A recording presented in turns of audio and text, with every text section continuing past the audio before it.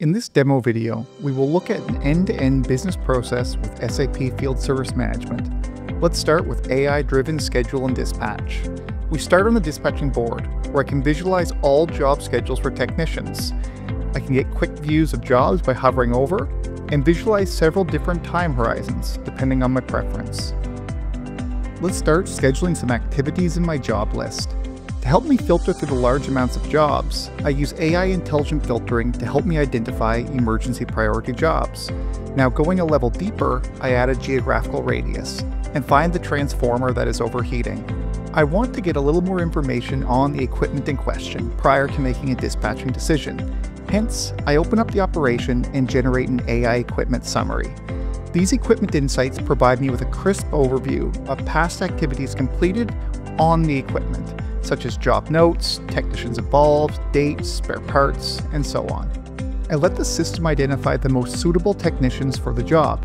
It uses machine learning algorithms to predict job durations for each technician, while allowing me to apply different policies to make informed decisions based on specific scheduling scenarios. Based on SLA compliance, Raoul Johns is the best option companies can create custom AI scheduling policies in field service management using a no-code drag-and-drop interface. Here we can view the policy rules and easily add new ones using pre-built building blocks. For example, to ensure the technicians have necessary skills, I enable the relevant rule. Additionally, we can define score-based objectives to identify the best job technician combinations, optimizing scheduling decisions. Now, we see the AI policy in action. Triggered by a business rule, it optimizes open jobs by assigning them to technicians. This significantly enhances the organization's ability to maximize resource utilization and ensure optimal assignments. Many organizations dispatch directly from a map, where they can view technician, equipment, and job locations, along with geographical service regions. Looking at Raoul's schedule and route, I notice an open slot and fill this with a job assigned to his service region. I simply drag the job onto his schedule and then release the respective assignments.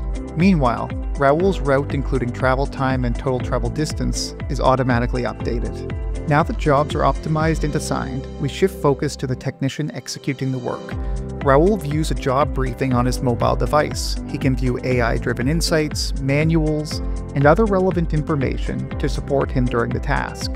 The technician follows a configurable guided workflow, starting with job acceptance and confirming travel initiation.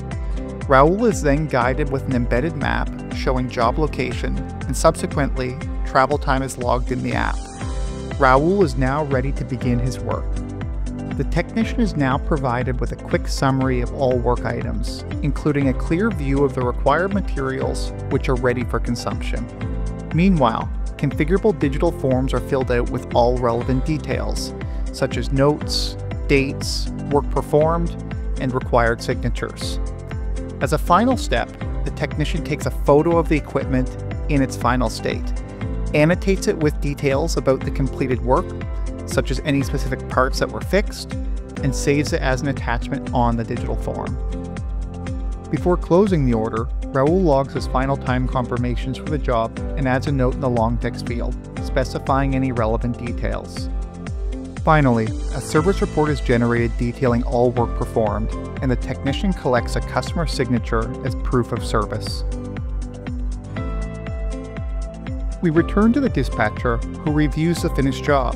The dispatcher generates an AI activity summary providing an overview of the work performed with hyperlinks for easy navigation.